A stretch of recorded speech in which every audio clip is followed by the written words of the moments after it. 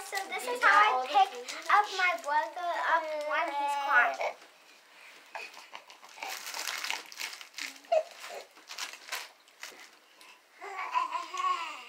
And then when he's crying, I walk him like this.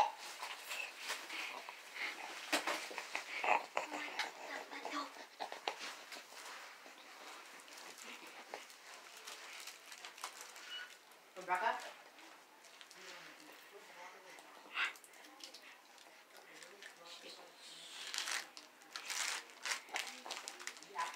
And now when he stops cry- crying, I put him back down.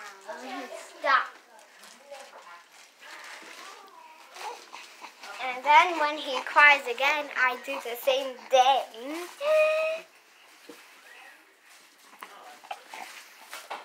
Oh.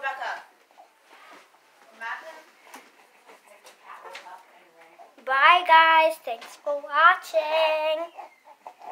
Me a big thumbs up and subscribe if you like this channel and hit that notification bell.